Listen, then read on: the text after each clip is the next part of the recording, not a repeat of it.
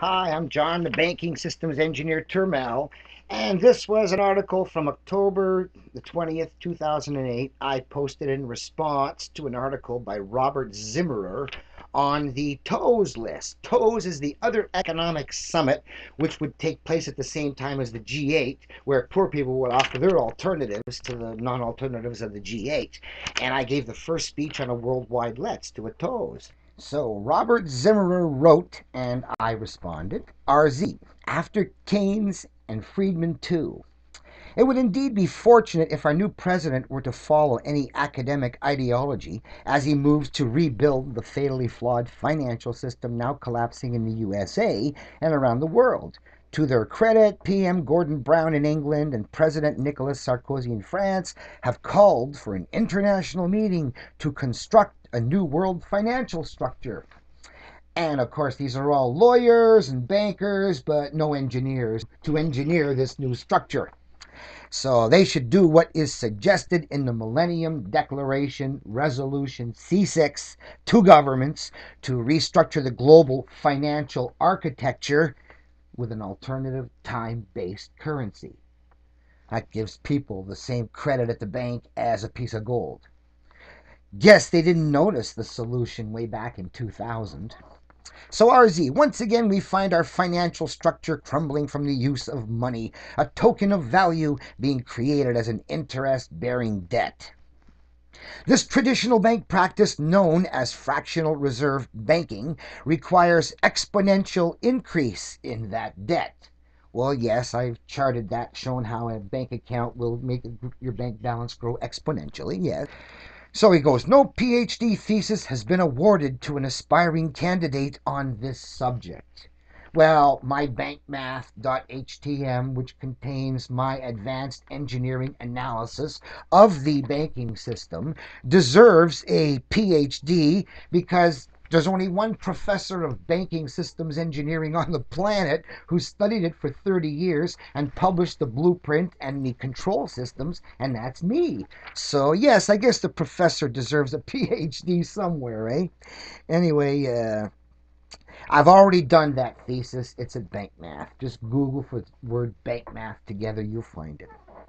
RZ, apparently it has escaped the notice of econometricians that debt whose regular interest payments are made from more debt is the equation of exponential increase. Well, I said it didn't escape the notice of the banking systems engineer.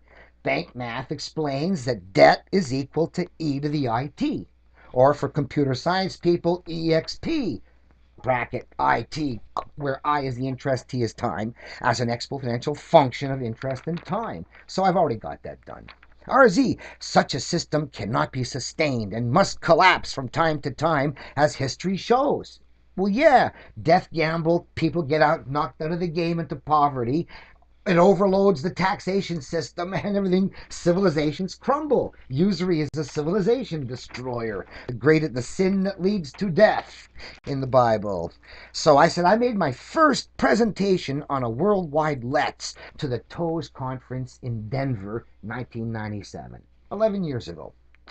And you would have known about bank math except that Trent Schroyer, the guy who runs this TOES list, upon which I picked up this article, got the bank math banking systems engineering material banned from TOES list years ago.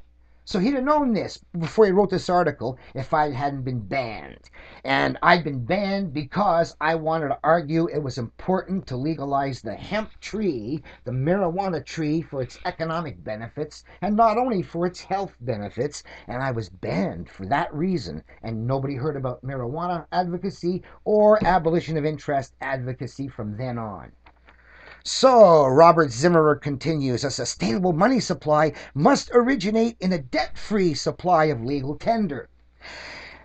And no, it doesn't. It can have a negative, the person owes, and a positive, the person who is owed. As long as there's no interest, positives always balance negatives, there can be no problem. Whether it's issued as a debt that's backing up the chip or a piece of collateral that's backing up the chip. We've explained how they both work fine. It's only feedback on one side that causes the imbalance.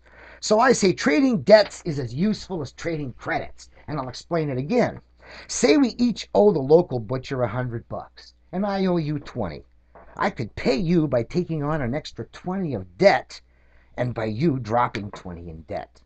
So say we both had a hundred bucks owed to us by the butcher, and I owe you twenty.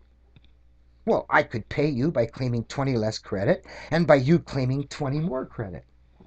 So whether currency is based on positives, him owing us, the butcher, or on negatives, the, you know, us owing the butcher, is irrelevant to whether you can do a transaction with those credits. So there's nothing wrong with using debt as money. It's the growth of debt on money. That's the problem. The usury, the debt service, not the debt itself. I'll honor the debt for stuff I get. I'm only going to dishonor this debt for the stuff I didn't get. And interest I get nothing for because money does no work. So when you hear someone say that the problem is that money is created as a debt, remember they are not focused on the true instability in the equation. D is equal to E to the IT, which is I, the instability. And for some reason think the problem is in the D. So, RZ, upon which strictly controlled banks may be permitted to continue their practice of fractional reserve banking. Well, listen now. Fractional reserve banking, you've seen my bank plumbing. On one side, you got all three leads going into a reservoir and coming out. On the other one, you got four leads going in, but the tap of the new money and the drain of the new of the money being paid off, that is brand new. So there's a difference between a piggy bank model and a casino bank model. And of course, here he's talking about having a limit on the creation out of the tap, which is limited to the number you've saved in the safety deposit section. Now, the number of chips issued should be dependent on the collateral presented at the cage, not on how many old chips we saved. And but that's how the present fractional reserve banking system works. You can't turn on the tap until someone deposits old chips, and that's mainly to perpetuate the belief that people are getting savers deposits, savers savings when they're actually getting new money. So, uh, the creation of chips should be limited to the amount of collateral that can be pledged at the cage. That's how it should work. So he goes on the creation and use as money of this tower of interest bearing debt paper has finally broken the present financial system. The obvious source of debt free legal tender is from a nation creating it and spending it directly into circulation. No more national debts. Well, I agree that's one way to do it. But there's another way to do it, and that's like the provincial bonds for the states. But yes, that's the way, and uh, I see nothing wrong with the government issuing their own chips as long as they back it up with work and buy something with it. So, uh, he said, or creating, and I say, or creating and lending it directly into circulation too, not just government spending it. But people need to have access. Oldster monetary reformers think it can only be spent into circulation and don't realize that it's easier to take down the banks by substituting our lending for theirs. You know, not just the government portion, but everybody's portion. The better way to inject the needed currency into circulation is the one that also conquers the banks. So Robert Zimmer goes on European Union has cobbled together a group of nations using a single currency, each retaining limited sovereignty to create some of it, and a central bank with limited authority to manage it. One can imagine the difficulties in the USA among its states as they grew in number from 13 to 50 had such a system been used. Well, unless it's based on something universal like time, then I don't mind Iowa bond currency and, and Florida bond currency and New York bond currency. Oh, not bonds, whatever, as long as it's backed up for work. I'm not worried about that, no matter how many there are unless it's based on something like time. So he goes on the disgraced wizards of finance, now placed in charge of recovering from the disaster they caused, will further reveal their incompetence. How long will it take before they're replaced? Out of chaos, will a new order arise? Well, it did in Argentina. You bet, I said. When the Argentine banking system crashed in 2001, they had no choice but to revert to the time standard of money so that they were out of international debt by 2006. Every provincial bond paid out was in exchange for value by a human, and every peso paid out by the federal government in exchange for value by a human, always backed up by work, and that's perfect money if you can pay taxes with it. Six. Hardly anyone noticed how they did that.